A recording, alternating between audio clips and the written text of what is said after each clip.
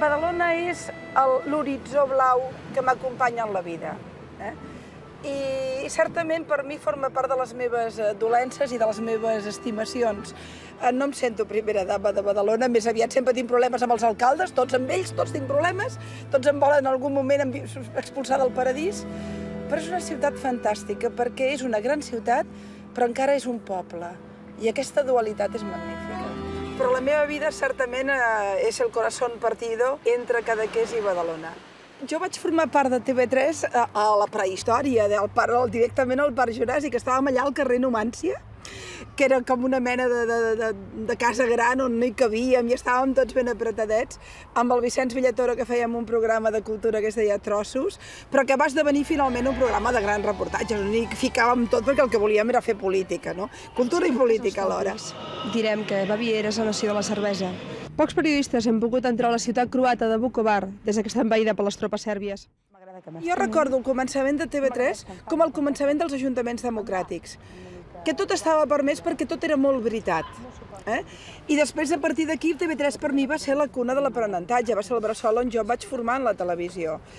I, i òbviament sempre serà aquella casa de la que vaig, on la que vaig començar, de la que me'n vaig anar, però sempre acabo tornant-hi d'una manera o altra. No? Per una nit boja, d'aquelles que saps quan comencen, però no saps ni on ni com acaben. Pilar Rahola. Sí, home. Sí?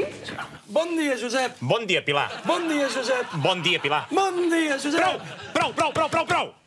I respecte a la parella televisiva i- és un marit, de fet, de vegades li dic Robert. M'equivoco i allò de dir-li Josep li dic Roberto, perquè em barallo amb ell com si fos un marit. Josep, sisplau, em diràs una altra veure, cosa. quina- Discreció. Pilar quina- Rahola discreta. Cuní, quanta, quina quantitat de gracietes sobre la raola has de fer cada matí, tu, per sentir-te content? Et deus al teu dir, públic com una folclòrica. Si jo sóc una folclòrica, tu ets el parada directament, eh? Perdona'm, eh? O sigui, aquesta taula, a veure en què No es ho considero converteix. ni tan sols un cop baix. Eh que sí? Jo sóc una, la gran maruja de Catalunya. He triat la, la Marcela Tupor, la Mars, que, eh, que és la dona del Carles Puigdemont, per tres motius. El primer motiu és perquè és una gran desconeguda i m'agrada molt ajudar a descobrir algú que és desconegut i que jo, que sé, jo sé que té molt recorregut. El segon motiu era perquè estem parlant d'una dona que ha tingut una vida molt interessant, nascuda a la Romania del Ceausescu, formant-se en una dictadura, vivint al final la caiguda estrepitosa del comunisme, i després té opinió. Hello and welcome back to Catlin Connections. Today my guest is the popular writer and journalist Pilar Raola. Pilar, thank you so much for coming today to the program. Excuse me? Yes? Today is not my day. Avui et toca a tu.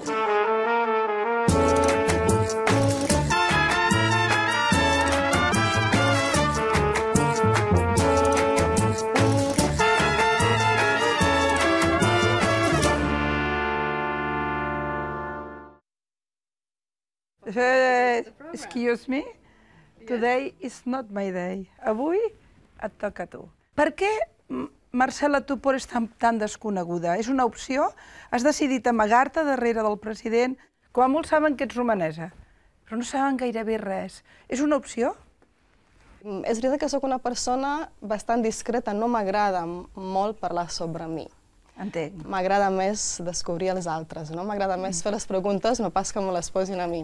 A mi m'agrada descobrir la persona que entrevisto i m'agrada anar a fons, però no busco ni titulars, no busco ni morbositat, ni busco... Um, és, el que jo faig és una conversa lliure, bastant relaxada, amb una persona, en anglès, uh, una persona que, que ve d'una altra part del món, normalment, i que eh, ha començat una nova vida a Catalunya. Per tant, és un tema que m'interessa molt. Eh, com ha canviat la seva vida aquí, com veu Catalunya des de fora, amb els, com, veu, com es veu Catalunya des, des de la perspectiva i els ulls d'una persona de, de, de parla anglesa. Vaig venir aquí a l'estiu, de seguida em vaig matricular a la universitat en un curs intensiu, quatre hores diàries, i a part estudiava a casa. I en nou mesos em vaig treure el nivell C de català. El castellà l'entenia, però fins que no vaig treure el nivell C de català no vaig començar a posar-me a sèrio amb el castellà. Mm, A Girona, per exemple, em coneix tothom. No? A Barcelona potser no tant. Uh, jo visc a Girona, intento fer uh, la meva vida com abans, uh, anar a la feina cada dia, tenim dues nenes, estic amb elles eh, sempre, sempre que puc a la tarda, les vaig anar a buscar, a buscar a l'escola. Um, I um, la feina del, del meu marit, evidentment, ell es dedica a la política, jo no, jo li faig costat amb tot. Estem a Palau Agullana, que és aquesta Això hi casa forma amb part, aquest també, arc no? esbiaixat, fa part de, de la casa, que del Palau eh, Agullana, del segle XVI-XVII, crec. I aquesta escala tan maca que tenim aquí, Pilar, Bueno, això és l'escala de Joc de Trons, perdona'm, eh? Sí, són les escales de Sant Martí. És l'antic convent, eh, de, de l'església de l'antic convent de, de Sant Martí. Sí que és el Veus que aquest portal nom a- barroc eh, tan preciós. I sabies que mm, és un dels racons més romàntics de tot l'estat? Romàntic. Van organitzar un concurs per saber quin preciós. era, havien de votar, quin era el lloc més romàntic de tot l'estat i van votar aquest. I es pot entendre perfectament per què, no? Perfecte. Perquè és, Sí, vol dir que hi has és passejat alguna vegada per aquí, en plan romàntic? Aquí venim molt sovint, el Ah. Bistrot és un lloc eh, emblemàtic i ens encanta. Escolta, Estar de- aquí és un ara, ara luxe. que et pregunto, i et pregunto impertinències, m'has de dir si és romàntic, en Carles. Um, sí, sí, uh, depèn, depèn, no? Quan cal, sí, tampoc la justa mesura, diria. Escolta, Març, quan tu vas conèixer aquell xicot eh, periodista i que li agradava el teatre i va conèixer una noia romanesa que estava en un grup de teatre i tot allò es va convertir en una història d'amor i aquella història d'amor va culminar amb un casament a Roses per cert civil Exacte. i després un casament ortodox a Romania, oi? Sí, uh, això uh, va ser més per, uh, pels pares i per la família uh, Clar. de Romania. No? És, aquí també hi ha gent que, que fa un casament civil i després diuen es casem per l'església, Sí. no? Va ser una mica això. Però és evident que aquella història d'amor i aquella història finalment de convivència, un matrimoni, uns fills, de sobte s'ha s'ha trasbalsat completament perquè eh, el teu company de vida ha passat de ser un alcalde d'una ciutat, que ja és una cosa prou complicada, una ciutat tan important com Girona, a ser el president d'un país en un moment tan important, tan sensible, i just quan aquest país vol fer un salt endavant i aconseguir la seva llibertat. Com et canvia la vida d'un dia per l'altre? Com va tot? Evidentment ha sigut un, un canvi molt sobtat, al qual t'has d'adaptar ràpidament, sí o sí. I, I ha sigut així, el dia a dia realment, i molta gent em preguntava, estaves nerviosa aquell dia de la investidura? Jo els deia, no, la veritat és que no, i no ho deia per, no ho deia per dir, és, és així, no vaig tenir ni temps de posar-me nerviosa, saps? És que, és que tot anava tan ràpid i era, hi havia un esdeveniment rere l'altre, rere l'altre, saps? Tu agafes el dia a dia i intentes fer-ho el millor que pots. Sabies on et ficaves? Sabia on Evidentment, evidentment, t'imagines la magnitud, no? I ja saps que intentes imaginar-te, però saps que hi haurà coses, sorpreses que no te pots imaginar per, a priori, no, no pots saber. Per tant, has d'estar preparat mentalment, psicològicament, eh, per tot, no? Març, em sembla que ens estem mullant. Està plovent bastant, Escolta, a mi si mengem... Espera't, mira, Entrem, mira cap aquí. entrem, entrem, no? Jo diria que menjarem la paella dins, perquè si no ens posarem macos, eh? Llàstima, perquè quin lloc tan bonic, eh? Però, Març, una decisió com aquesta, que té una dimensió política tan gran, també té una dimensió familiar brutal. Tu, tu deus anar amb la vida més complicada, més cansada. Estàs eh, sacrificant la teva professió i la teva vida per la carrera d'ell? Um, és veritat, Pilar, que, que faig més coses que abans, uh, però t'haig de dir que jo també sóc una persona que m'agrada fer coses tot el dia. No? Um, no he sacrificat la meva feina, al contrari, segueixo fent el que, el que feia abans. A més a més, és una feina que m'encanta, que em sento molt motivada i molt... Que és bàsicament el periodisme, el que vam veure a la televisió, el Catalonia Today, tenim també. El, sí, tenim el projecte de la revista Catalonia Today, tenim el projecte English Hour a, a la televisió i uh, més projectes en anglès amb el, el Punt Avui, uh, projectes que vam començar amb molt entusiasme, estem molt orgullosos i jo crec que tenim molt de camí per córrer. Per tant, tinc una feina que motiva i que, i que m'agrada molt i no l'he deixat, al contrari. I el que és uh, la vida familiar, bé, uh, has, de, has de seguir fent el que feies abans, igualment, no?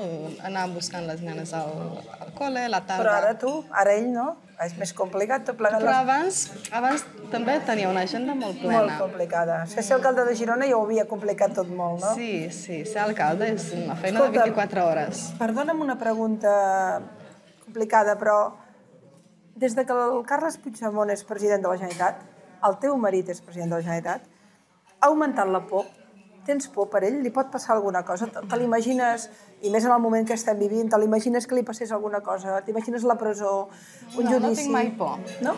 No, no penso... És més, no penso en això. Intento sempre pensar en positiu. I sóc una persona optimista de, de mena, saps? I, i crec que no m'aportaria res de bo pensant en coses d'aquest tipus. Mm? Per tant, no tens por de tenir por, diguem-ne, seria, no?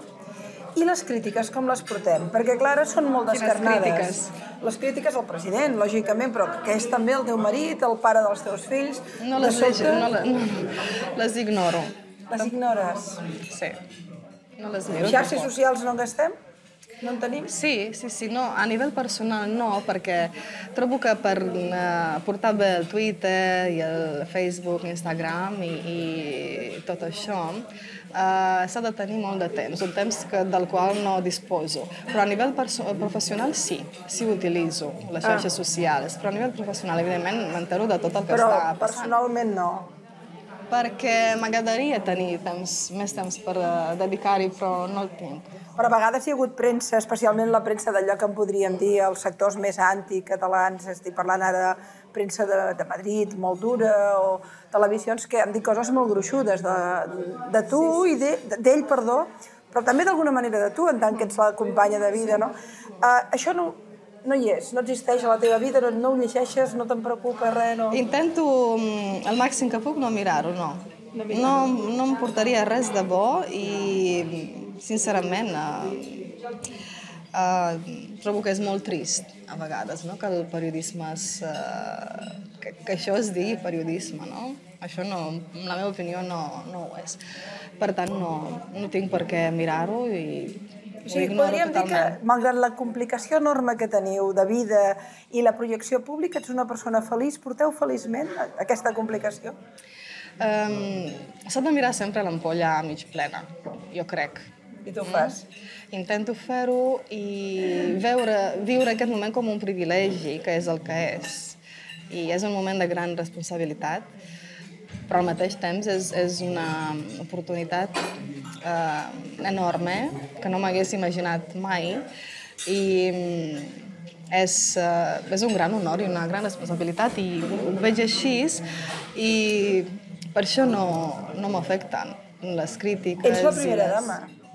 Tot i que aquest és un càrrec que no està tipificat, però en realitat té, això té un pes específic. Sí. A quina altra primera dama et sembla? T'assembles? Jo crec que a cap no? perquè jo sóc qui sóc, elles, crec que cadascuna, cada una d'elles tenia una personalitat diferent, no? i a més a més no intento semblar-me amb ningú.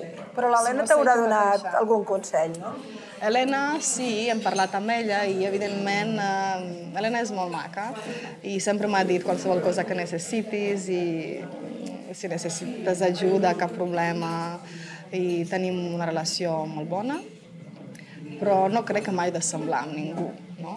Jo sóc la que sóc i, i ja està. Però et sembla que hauries de tenir un paper més actiu Tu m'has dit abans que no tenies interès en la política, no el tens en absolut, mai t'hi veuries en una llista, t'hi veuries liderant un moviment, t'hi veuries fent el paper que fa Carles Puigdemont. Marcela Tupor, No, algun dia política, farà política? No, de cap manera. De cap manera. No, amb un polític en la família tenim suficient.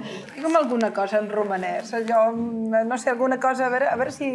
Um, alguna cosa que s'assembli al català. No, una expressió que et sembli que, que val la pena. L'Arevedere, per exemple, l'Arevedere és molt L'Arevedere. semblant a l'italià. Sí.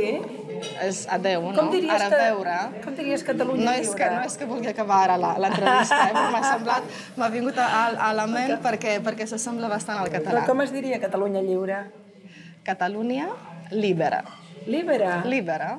Ah, és ben bellatí. Sí, És, sí, eh, s'assembla és- moltíssim. Sí, sí. La veurem? Jo espero que sí. T'hi veus I van aviat. T'hi veus en el balcó de la Generalitat amb el teu marit? eh, No vull pensar en, en, en això. Vull pensar al país, en, al país lliure en el seu conjunt. I estàs preparada, juntament amb la teva família, perquè això trigui? És a dir, aquesta complicació de vida eh, que, que el Carles en aquests moments el té en la primera línia podria durar més temps. Podria ser que hi haguessin més eleccions, que tornés a ser eh, candidat. Eh, això ho teniu interioritzat? Hi ha un moment que heu dit això potser durarà poc, però potser pot durar molt més i estem preparats per assumir-ho?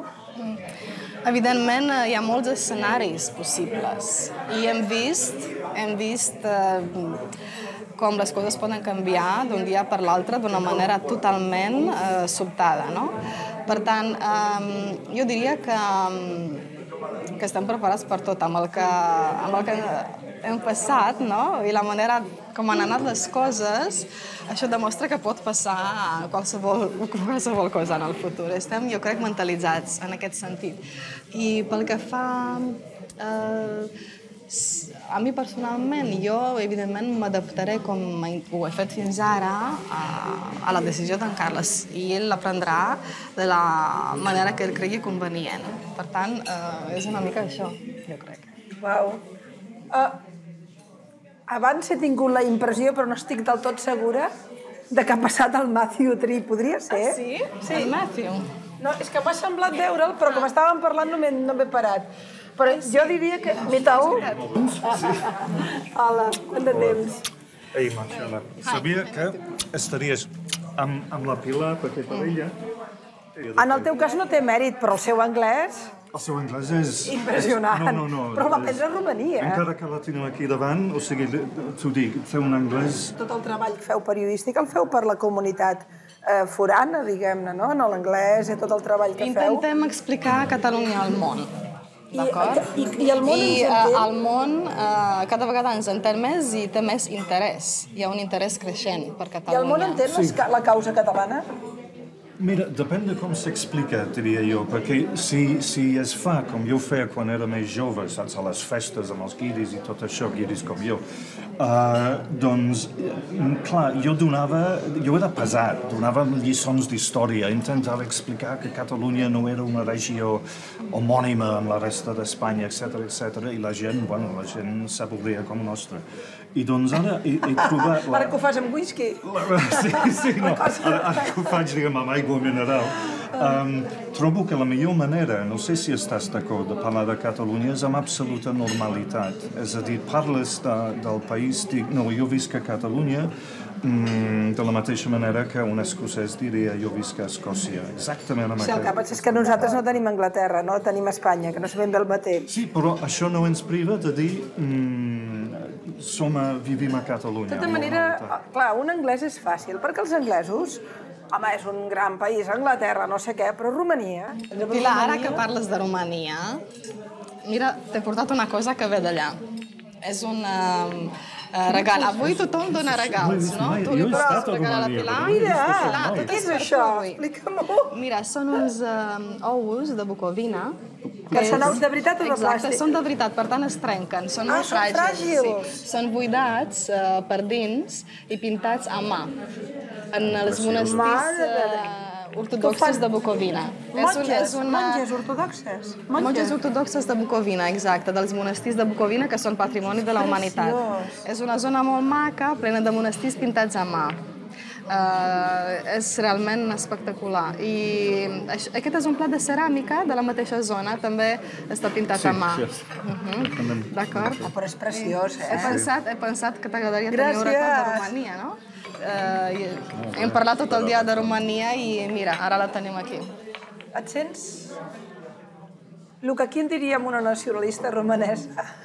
Clar que quan estigui estat no és ben bé el mateix, oi?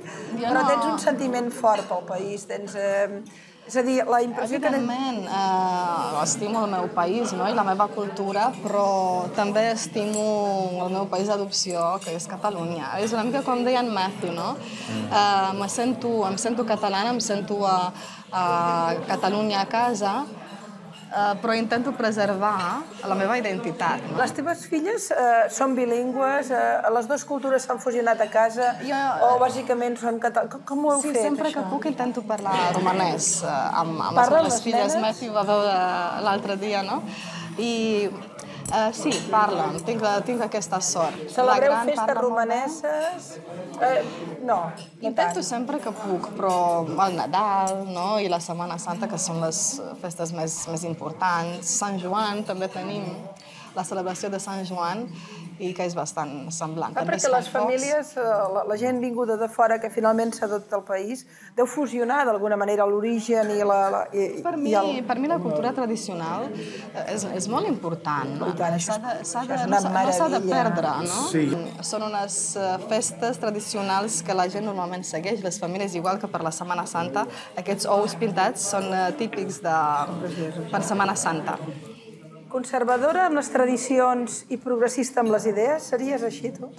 Conservadora, no em consider- considero una persona conservadora, però m'ag- m'agrada seguir les tradicions, això sí. I d'idees sempre em considero una persona de mentalitat bastant oberta. Bueno, jo també tinc un regalet, però no és tan bonic. Senyores, abans Allò. jo he de marxar perquè he No d'agafar quedes... un tren. Tenim una, tenim una paella, tu saps que les paelles nostres... Bueno, me'n vaig, Que eh? vagi molt bé, Adéu, petons carinyo. Escolta, tinc una petita enquesta. Vestit de blanc o de negre? Vestit de blanc o de negre. M'agraden tots dos colors perquè són colors uh, bàsic. Potser més, uh, vaig més de negre i mm, saps que al No Japó... et cal, ets molt prima. Vaig, vaig uh, molt sovint en blanc i negre, és veritat. Però al Japó diuen que el negre és la síntesi de tots els colors, el color més noble. M'agrada molt el negre i el blanc també, depèn de, de l'ocasió. On heu passat una nit romàntica? Uh, a França, a Romania, depèn. La més especial? La més especial a París. A París. La primera? Mm, No és la que tu creus. Ah. Escolta't, a la televisió o la premsa escrita? Um, M'agraden molt totes dues coses, però últimament el projecte de le- televisiu que estem desenvolupant eh, mm, és un gran repte i és molt engrescador. Potser televisió, diria. A qui no entrevistaries mai? Però mai. Aquí no entrevistaria mai. A veure... A, a, a ningú, vull dir, entrevistaria a tothom, perquè, perquè sóc una persona molt curiosa, tinc curiositat per descobrir les coses i Fins penso que és el enemic? paper... Fins i tot amb un enemic? I tant. Sobretot. I tant, per què no? Jo crec que un periodista, un periodista no ha de rebutjar mai un convidat, no? És, uh, és la nostra feina. Ballar o escoltar música? Ets balladora? Sí, no? Uh, sí, m'agrada ballar, bastant, i també m'apassiona la música. Però potser escoltem més música que no pas ballar. Uh, el sexe després de a l'hora d'anar a dormir o a qualsevol hora, a qualsevol racó, mm, li posem alegria a la cosa? Evidentment, no? Eh, es tracta de disfrutar, no? Però eh, quina és la pregunta, exactament? Si hi ha un lloc per practicar-lo i una hora o qualsevol val. és que a moltes preguntes que m'has preguntat jo contestaria depèn, depèn del moment. Caganer o casteller? Casteller. Casteller. Admiro moltíssim els, eh, els castells per la seva força, perseverança, l'esperit d'equip, l'energia brutal que desemprèn, sí, els castells. I Catalunya o Romania? El que dèiem abans amb en, amb en Matthew, Catalunya la sento casa meva, però mm, crec que és important no perdre uh, la meva identitat. Corazón partido. Una mica... Cor, cor fusionat. No, sents una mica oi? d'aquí i d'allà, no? I tot alhora, sí senyora. Ah, No seràs... Sents que no seràs mai d'aquí 100% i quan tornes allà eh, trobes que les coses han canviat tant que ja no... Ja no ets al d'allà tampoc 100%. 100%. Està molt bé, això. Ah, doncs jo ja he acabat, eh? Vull dir, ja no tinc més qüestionari. Molt bé, jo penso que tinc per tu. Això no val, eh, Què tocava tal, a mi. què tal si et pregunto a tu ara? Que és el que a mi m'agrada Eh, més. A veure, se t'ha canviat la cara. Allò posar-te entrevista sí, canvia. sí, ara me sento més còmoda. Ara estic més en el meu. paper. A veure, Pilar, al llit o a la taula? Eh, fonamentalment quan en tinguis ganes on puguis. Però amb l'edat millor al llit. La taula es complica. És més confortable, es complica. no? Sí. La segona pregunta seria, quant de temps seguit pots estar callada sense dir res? Tot el temps que el meu interlocutor em sedueix. Per tant, Però t'acosta callar? Et costa callar? Estar callada? Sí, em costa callar, m'agrada parlar força. Sobretot perquè el cervell em va molt de pressa i sempre tinc opinió. I de tant en tant l'he d'aconseguir controlar, certament. A mi m'agrada més escoltar, eh? Se'm nota, no? Àngel Colom o Josep Cuní? Ai, dues persones que m'estimo, que m'han acompanyat per la vida i que formaran part de la meva vida. No, no, no escolliria. Temps diferents, moments diferents, grans persones. Què no t'agrada de l'independentisme? La, la, la dificultat de l'autocrítica. A vegades eh, confonem l'independentisme amb una religió i amb un dogma de fe. I hem de ser molt crítics, molt autocrítics i, i, i reescriure els nostres propis errors per millorar. Si has de fer un sopar especial, soparies amb Mas o amb Puigdemont? Un sopar especial? No, no sopar especial, Ah, en el dir, sentit quina romàntic. Ah, no. perquè dic... Home, eh, Sopar amb Mas o Puigdemont? Home, en aquests moments, eh, el, diguem-ne, li puc treure més punxa en el Puigdemont perquè és el que està a la trinxera, en la primera línia, però en Mas és un gran amic també i també té moltes coses a dir. No, no, és com el Colom i el Cuní, no em feu escollir. Uh, jo li tinc una estima profunda a l'Artur Mas per moltes coses i em sembla un tipus extraordinari. I sento en aquests moments una admiració profunda i una estima per Carles Puigdemont, que de sobte ha fet créixer la presidència, que l'ha creguda, que és en aquests moments el president del país. No? Per tant, dos grans persones al costat, diguem-ne, del país. No? D'acord. Uh, després de dinar... Potser diria que amb el Mas un sopar amb corbata i amb el Puigdemont una paella. Ah, molt bona cantant. resposta. És una molt bona resposta. Que enllaça amb la següent pregunta. A veure, Després de dinar, preferiries cantar amb els amics Let It Be o Paraules d'amor? Paraules d'amor sempre, sempre, però el Let It Be també encara que el desafinem. Escolta'm, amb els amics, després de dinar, cantar sempre. I viure la vida, i sentir-te acompanyat, i crear complicitats, no? I l'última pregunta. Estàs preparada? Ai, ai, ai. Llegir clàssics de la literatura o trencar un travesset del llit? Bé, els travessers del llit els I trenca no el meu val dir marit. que cada cosa té el seu moment. No val dir, no val dir. Els travessers del llit els trenca ell, el meu marit, perquè està bastant gros. Uh, però amb l'edat el sexe està una mica sobrevalorat. Eh? Jo intentaré que m'acompanyin sempre els clàssics i en la mesura que pugui intentaré que m'acompanyi sempre el sexe, per tant anirem fent. Noies, l'arròs. Finalment, uau! T'has escapat, Pilar, de la pregunta. Sí. Gràcies. I tu, clàssics o sexe? No, jo t'he preguntat a tu. Ah. Tu m'has fet una, a, mi, a mi una pregunta d'aquest tipus abans. Però tu ets molt prudent, però deu ser molt apassionada, que sí? Tu creus? Sí. Sí. Però després t'ho explico. Tastem aquest arròs tan bo que fa molt bona pinta. I tant.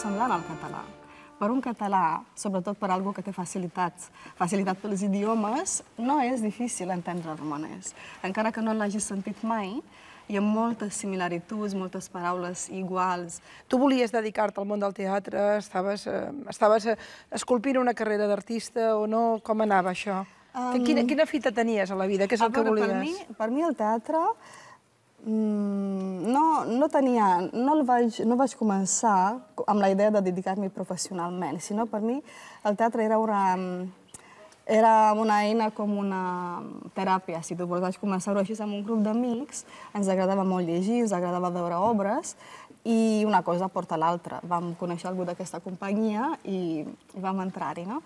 Però um, t'haig de dir també que la idea del teatre per mi al principi va ser per vèncer la meva timidesa, perquè sóc una persona molt tímida. Sí.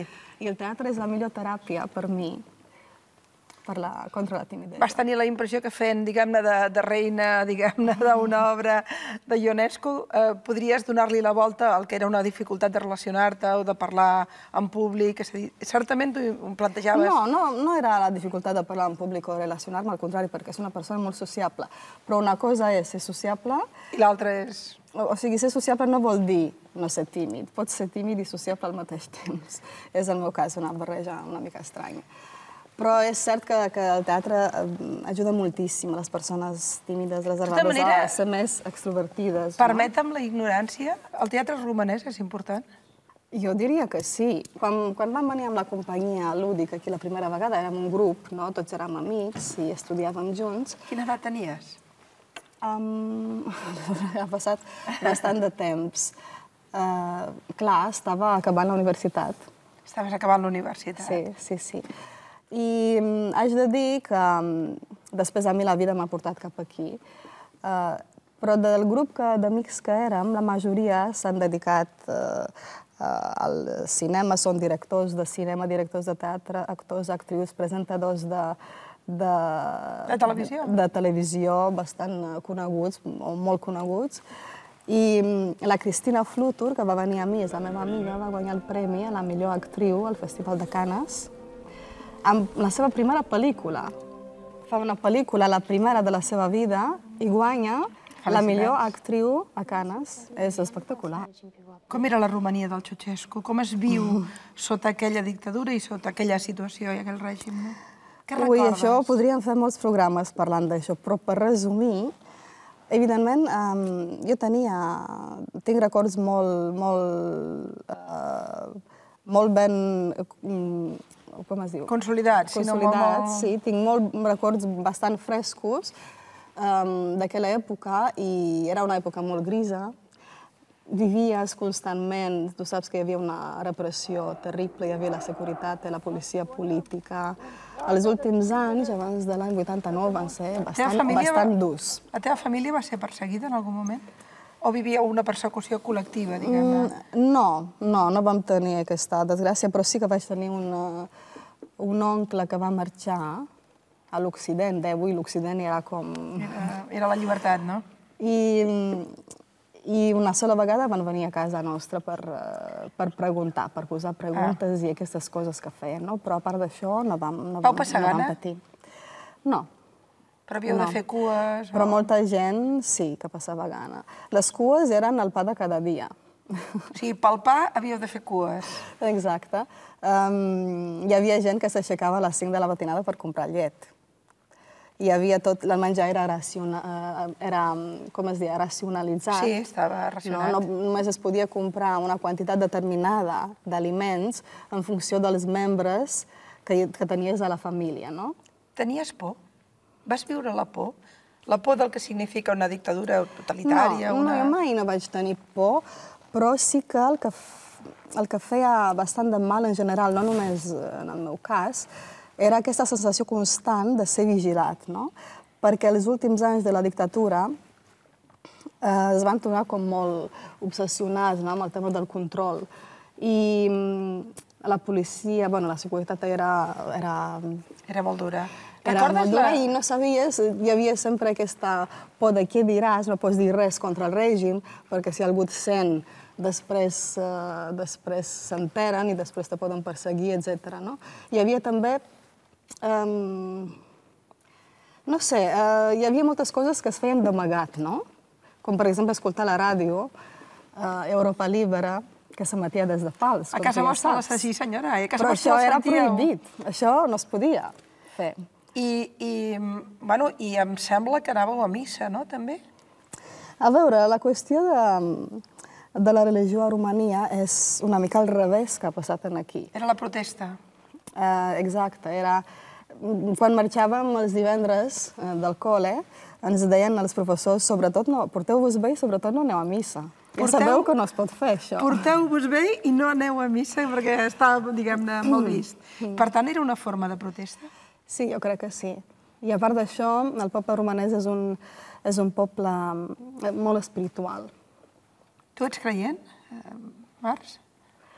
Um, bé, Ah. No sé si és una pregunta massa íntima, eh, però... sí, bastant. No, és bastant... Uh, fa part bastant de la meva intimitat, però sí que he anat, evidentment, a, a l'església. Nosaltres dèiem anar a l'església, no dèiem anar a missa, no sé per què. Ah. I A vegades hi ha una creença que té a veure amb les tradicions i la, i la identitat, o que té a veure realment amb la transcendència espiritual. En tot cas, et definiries com una persona espiritual amb transcendència espiritual? Sí, jo crec que sí. Sí, sí, evidentment. I penso que també eh, fa part de la cultura, no? És, és, és part de la cultura, de, evidentment, i, i aquestes coses s'han de, de, de saber, no? Quina és la primera impressió d'aquest país, aquest petit sí. país perdut, que segurament no devies tenir ni noció de que existia com a tal, com a nació? Um, Venies sí, és una, no? és una bona pregunta, perquè és veritat. Um, aquell, aquell any, eh, quan vaig, a- quan, abans d'arribar a Girona, havíem anat de gira als Estats Units, vam estar a Nova York i uh, Chicago, Michigan, tres setmanes. O sigui, Catalunya és després d'Estats Units. Allò, és la tornada, diguem-ne. Sí, sí, sí, va ser després dels Estats Units, és veritat. I havíem estat a França, també. I la veritat és que no sabia moltes coses de, de Catalunya. No, no parlava, no parlava ni tan sols castellà. Sabia dir hola, adeu i poca cosa més. I, evidentment, um, sabia alguns tòpics sobre Barcelona, Quins, Barça... quins tòpics? El Barça. Evidentment. El Barça... Éreu del Barça? Jo, com a Jo soc- algú de la jo família? No, o... mm, no sóc gens futbolera. No, um, ara sí que sóc del Barça, eh? però en aquell moment uh, no ho era. I el mar Mediterrani, Barcelona, uh, i t'haig de dir tòpics uh, com uh, flamenco i toros, o sigui, els associava al lloc on, on venia, Si no? tu venies a veure... Bueno, veure no sé, perquè no crec No que els coneixia, toros, perquè Però... eh, és veritat que Catalunya era molt desconeguda a Romania en aquells moments. Sí, venies a una nació que no sabies que existia. Exacte. I acabes sent la dona del president de la nació que no sabies que existia. Eh, A veure, no és de, del tot cert.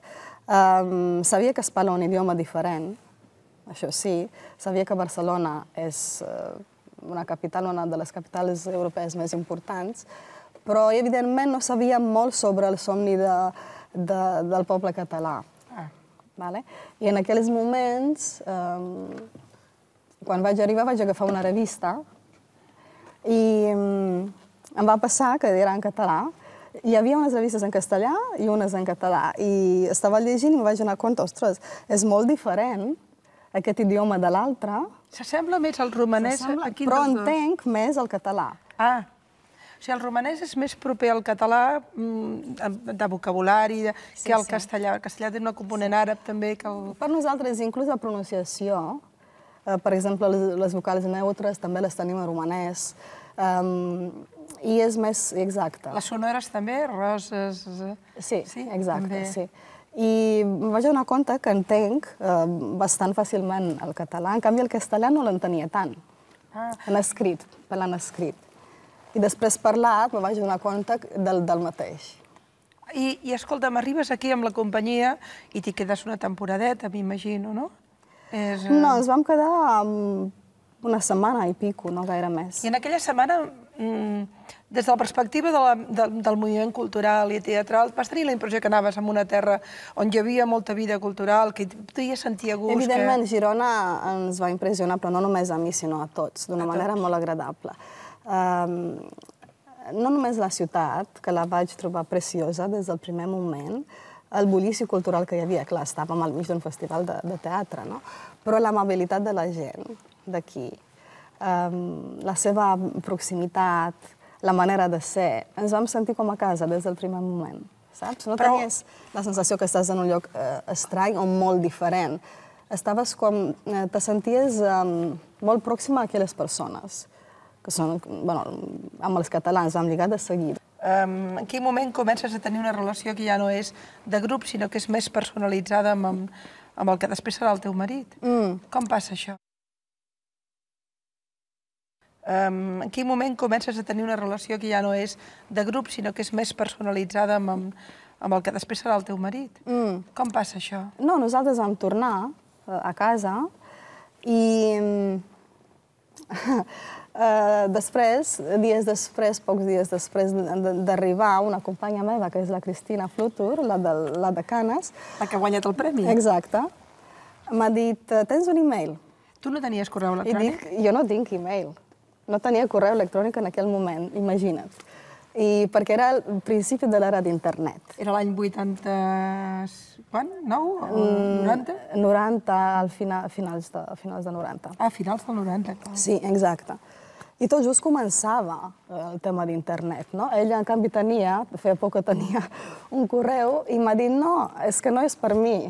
Eh, No, eh, tens, un, tens un e-mail en el meu correu. O sigui, Algú t'ha enviat? algú va preocupar-se de tenir el correu electrònic de la teva amiga per poder-te enviar a tu un correu. Exacte. I aquest algú era el Carles. Exacte. En Què et Carles... deia? Um, no, a veure, nosaltres érem, érem amics, coneguts, ens apreciàvem molt eh, i res més. Resulta que ens havíem deixat Veus aquestes cortines, les típiques cortines de, de vellut vermell Sí. dels teatres? Sí. Nosaltres, eh, per eh, l'Atrezzo, teníem un, un tros molt, molt, molt gros de vellut vermell i ens el vam oblidar. I ell va, va, va tenir la deferència de dir-vos que us havia oblidat el vellut. Exacte. Sigui, tot comença amb el vellut vermell. Que no sé, mai més, mai més no l'hem trobat, ni, ni sé on para en aquests moments. Bueno, ja va fer la feina. I què va passar més? Explica'm-ho, no, però com, com va això? Nosaltres anàvem a París, amb una altra gira, i vam coincidir a París perquè en Carles és un enamorat de, de París. I anava cada any. Perdona. Atès, atès que, com a mínim, veient-lo políticament, Carles Puigdemont planifica bastant les seves coses, és una casualitat que anés a París o va saber que hi anaves i s'ho va fer venir? No, ell ja sabia que la nostra companyia aniria a París de gira al desembre, i ell, com que hi anava cada any, va dir, coincideixo que jo també estaré un o dos d'aquells dies eh, allà. I a París ens vam tornar a trobar. I va passar alguna cosa més? Bé, a París eh, és on va començar tot, en realitat. O sigui, el primer petó va ser París? Això és molt personal, Pilar. No ho diguis a ningú, però sí. Sí? No, jo tenia moltes ganes de- d'aprendre el català. Uh, M'agraden molt els idiomes i quan vaig estar aquella setmana, la primera setmana a Girona, em va encantar l'idioma.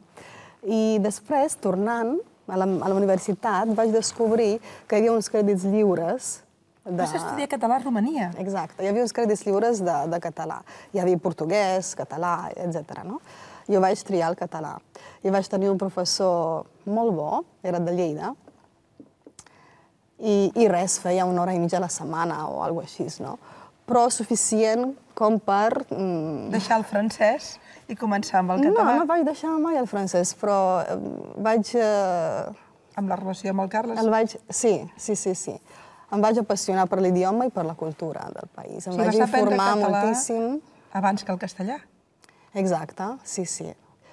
De fet, vaig començar... El castellà també va ser molt fàcil d'aprendre, però fins que, no, fins que no vaig treure el nivell C de català, me'l vaig treure uns nou mesos, més o menys, al, a cap d'arribar aquí. Després vaig eh, passar tots els exàmens eh, de, de castellà, perquè jo sóc així, no sé per què tinc tants diplomes i tants... O Eh... sigui, arribes fins al final, aprens l'idioma, fas l'examen, et treus el diploma... Sí, jo volia el nivell C de català, sí o sí. Volies el nivell, eh? Després vaig començar també a estudiar pel D, però no he acabat mai. Anem-hi, no? Perquè et vull veure dalt de l'escenari, Març. Perquè, eh, certament, veient una persona tan prudent i, i amb aquesta timidesa que encara conserves, Home, l'escenari és molt potent, eh? Vull dir... Et No, però ja t'he ja dit, exacte. Um, com a persona... Les persones reservades, jo crec, els hi recomanaria, reco- jo recomanaria a tothom que, s- que té un caràcter Uau. reservat i tímid a fer teatre. Mira què tenim aquí. Oh, Salvador Sunyer. estàs fent una obra. Hola. Hola. En Salvador Sunyer és el director de temporada alta, com bé ja saps. Jo crec que temporada alta està a l'altura d'Avinyó, o sigui, podem parlar d'Edimburg, d'Avinyó i de Això és, Girona. això és amor de mare gironí o és veritat? A veure. És molt, ama és molt amable. És, és molt amable. I exagerat. I crec que és veritat. Però ella m'ho havia dit en privat, també. Per tant, l'entusiasme és real. És a dir, um, la impressió de que estem parlant d'una ciutat que està generant un teatre de molta qualitat i, a més, està fent... Que... On, on situaria Girona en el mapa del teatre? Jo crec que bàsicament és que ha canviat molt la geografia del món i ara el món no són només països, sinó ciutats.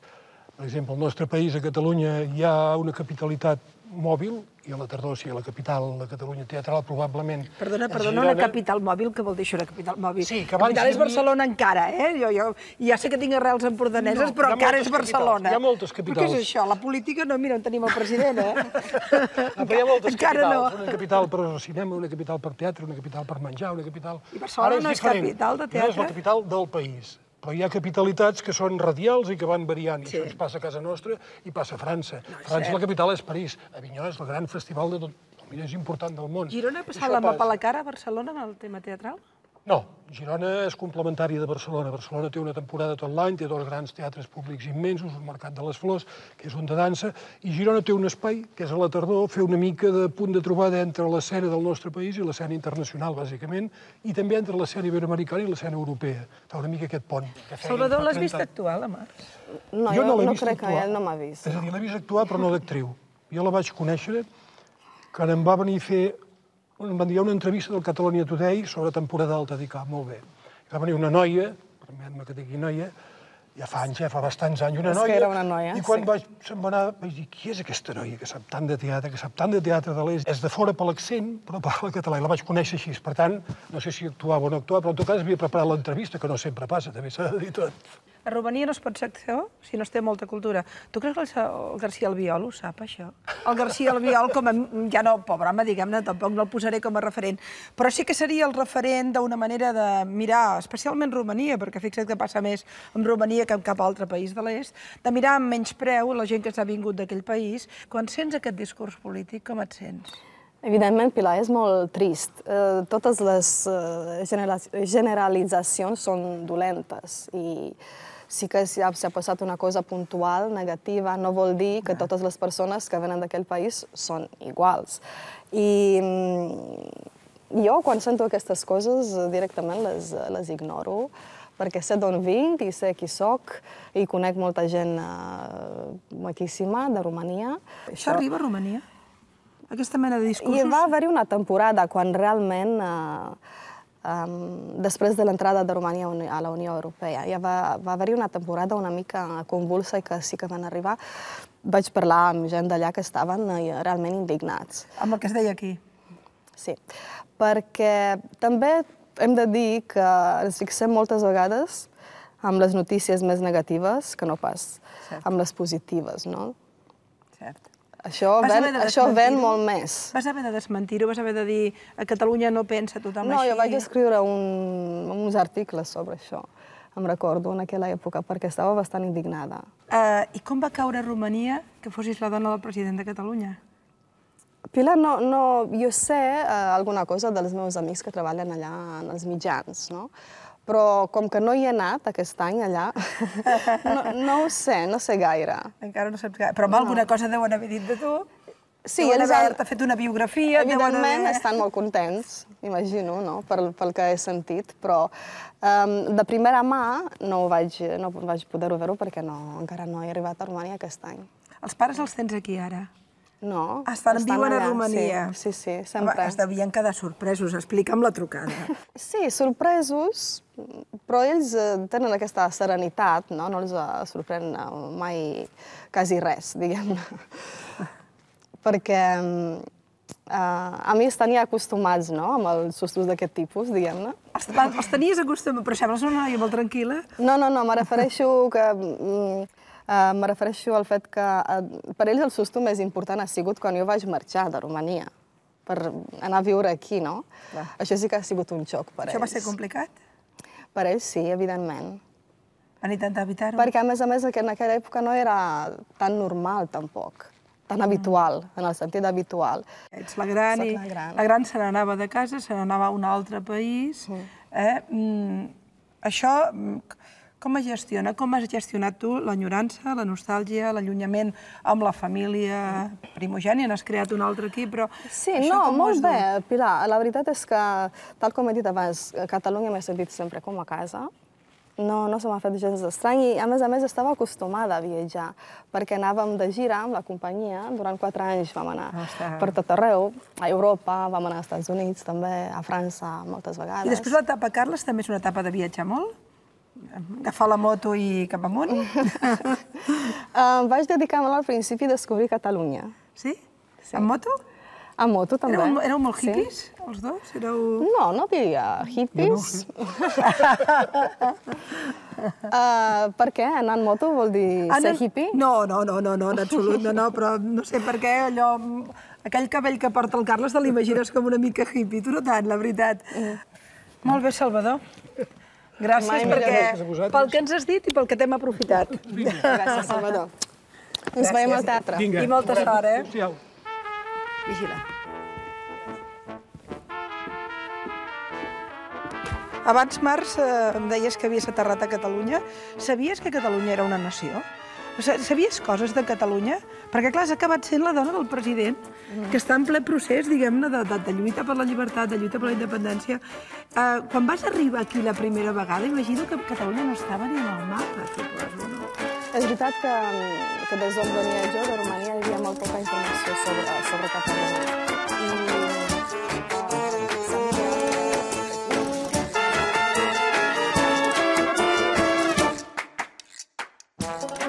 El que he percebut és que la Mars ha estat com és ella. És una noia enormement prudent, eh, alhora però eh, molt potent, molt forta, encara que ella sembla dolça, sembla tranquil·la, però és forta, és dura, és resistent, i en aquest sentit a mi em sembla que el que ha mostrat és això, el seu nivell cultural, que és altíssim, la seva, la seva tranquil·litat en la, en la relació, la seva afabilitat i la seva duresa, la seva resistència. És la primera vegada que, que dono una entrevista per un mitjà audiovisual a la televisió. Eh, he dit que sí perquè m'agrada el format, aquest fresc modern eh, i eh, diferent que té, perquè m'ho ha demanat també la Pilar, que la conec i tenim, eh, tenim bon rotllo, tenim aquesta complicitat. Eh, M'agrada ella com a professional, trobo que és una molt bona professional, i m'ha fet molta gràcia dir-li que sí. M'ha sorprès, en el bon sentit, com Romania li sortia pels poros. És a dir, eh, ella ha après a estimar Catalunya i, i jo em consta, tant en privat com en públic, que té una estima profunda pel país i que viu amb el batec que, amb el que viu en Carles Puigdemont, tot el procés català. Però a cada paraula, de tant en tant, a cada revolt de la frase li sortia Romania, l'estima que té pel, pel seu país. Aquesta doble emoció nacional, no?, que té molt sentit, però que ella ha tramès d'una manera que jo no li havia, encara no li havia vist, no? I potser ha estat el més intens per mi de viure, com des de la seva estima a Catalunya em feia entendre i em feia percebre l'estima per Romania.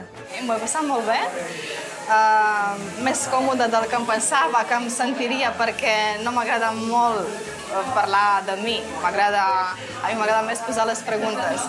Però uh, ha sigut una experiència molt bonica i gràcies per convidar-me.